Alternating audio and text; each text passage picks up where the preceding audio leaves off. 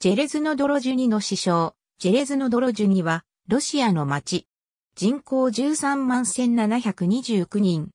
人口推移は10万3931、9万7426となっている。メシチョラ低地の西の円に位置する。ジェレズノドロジュニ駅モスクワ州に属し、モスクワの 21km 東に位置する。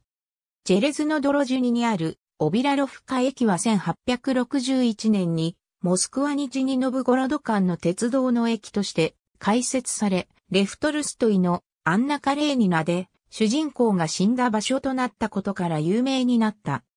1939年にはオビラロフカ他の集落が合併して都市型集落となり、ジェレズノドロジュニに解消され、1951年には市に昇格した。1960年代には、口の、サビの、テムニコボ、及びセルゲーエフカの4つの地区がジェレズのドロジュニに編入された。